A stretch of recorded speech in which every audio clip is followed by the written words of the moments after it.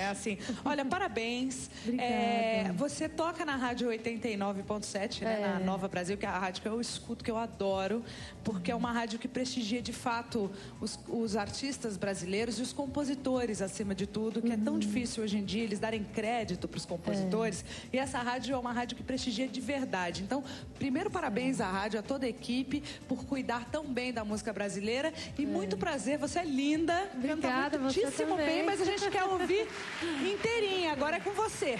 Tá bom. Solta a voz. Bruna Caran.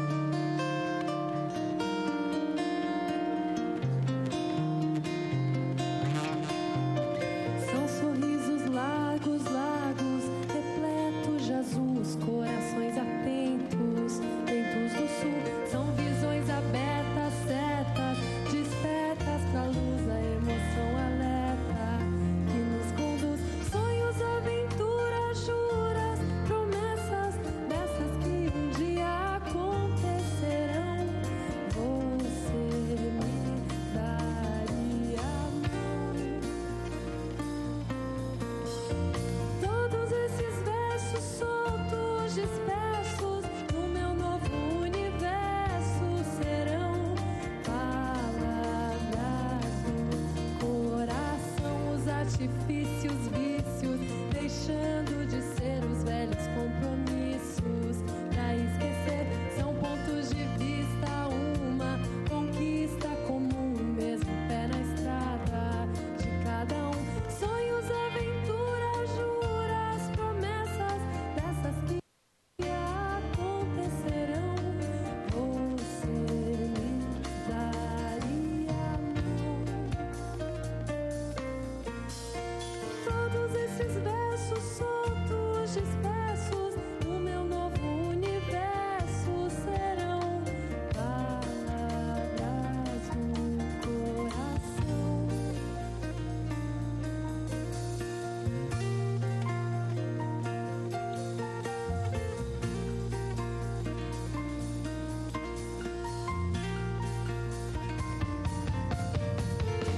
sorrisos largos,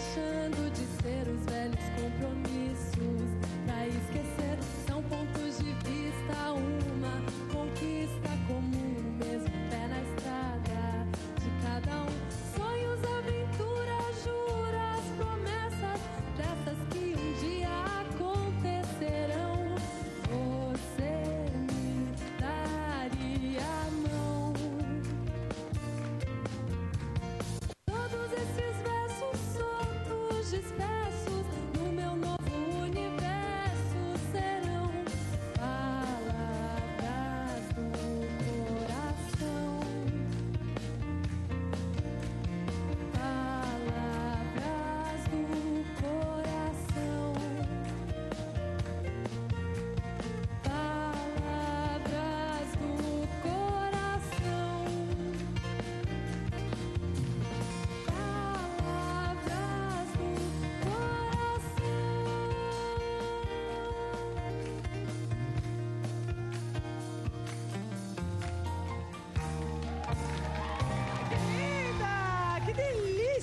Bruna. Bruna, você. Fiquem, fiquem, fiquem, que eu vou pros comerciais. Fiquem, fiquem. Nós vamos escutar mais, não vou embora, não.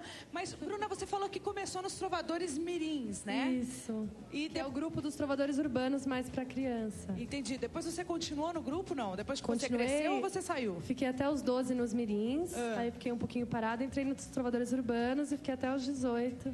Ah, fazendo serenatas por aí.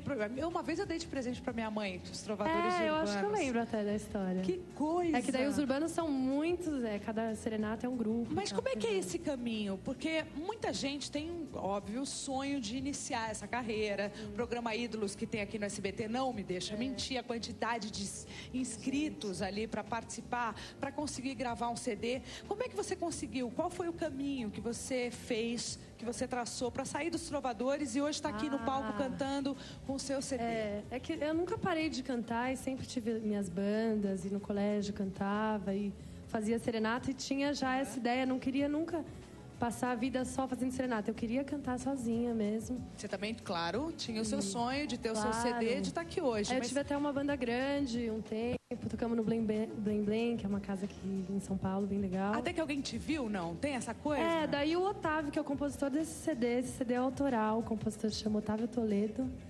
Ele Aliás, queria essa gravar. música, Palavras do Coração, é uma coisa linda essa música. Linda, linda, linda. Linda, que tocou bastante na rádio É, até. agora você está trabalhando essa menina. É, ah, o que tocar a gente É. Mas tá tocando essa menina. Então foi, agora. foi ele que, quem te É, ele queria gravar as músicas. projeto? Chamou minha tia, na verdade, que é cantora, que é a Lucila Novaes. Ela não podia, eu era aluna dela de canto e ela tinha um CD demo meu.